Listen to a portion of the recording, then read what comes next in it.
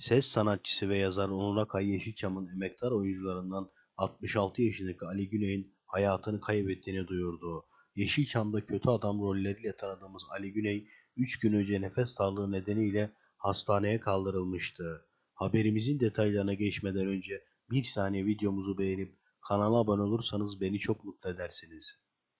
Duyurduğu ölüm ve hastalık haberleri nedeniyle magazin camiasında felaket tellalı lakabı ile ün yapan ses sanatçısı ve Onur Akay, Yeşilçam'da kötü adam karakterleriyle nam salan Ali Güney'in vefat ettiğini duyurdu.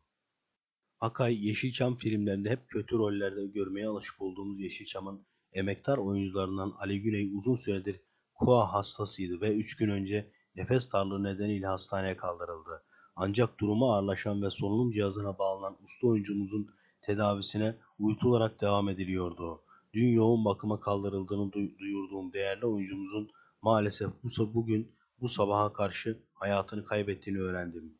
Usta oyuncu Ali Güney kimdir? 1 Ocak 1956 yılında Şanlıurfa Siverek'te dünyaya gelen Ali Güney 9 yaşında İzmir'e gitti ve bu yolculuk onun hayata karşı en önemli yolculuğu oldu.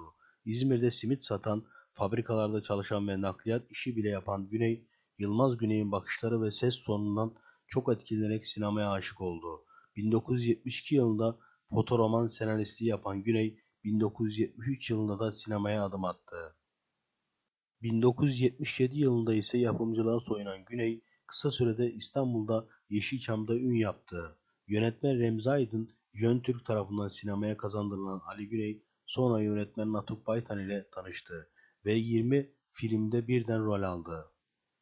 Şimdilik videomuzun burada sonuna geldik. Gündeme dair gelişmelerden anında haberdar olmak istiyorsanız aşağıdan kanalıma abone olup bildirimleri açabilirsiniz. Renkli sayfalar.